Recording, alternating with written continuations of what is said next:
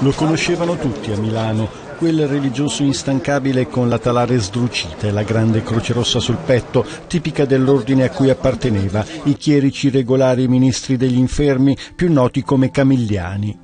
Frate Lettore si avvicinava con umiltà e tenerezza ai più bisognosi e per sollevarli dall'isolamento porgeva la mano del suo aiuto concreto e spirituale.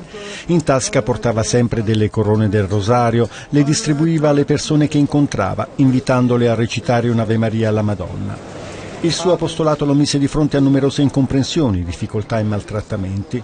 Qualcuno lo definiva originale, quel testimone dell'amore di Dio ritenuto scomodo da molti, in anni di tensione, tormentati, segnati dal consumismo e dall'indifferenza.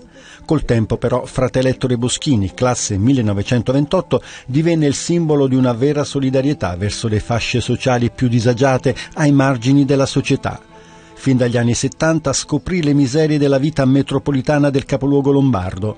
Barboni, immigrati, persone sole, senza affetti e senza fissa dimora. Per loro diede vita ai cosiddetti rifugi, luoghi in cui venivano ospitati ed assistiti, prima da solo e poi con l'aiuto di volontari.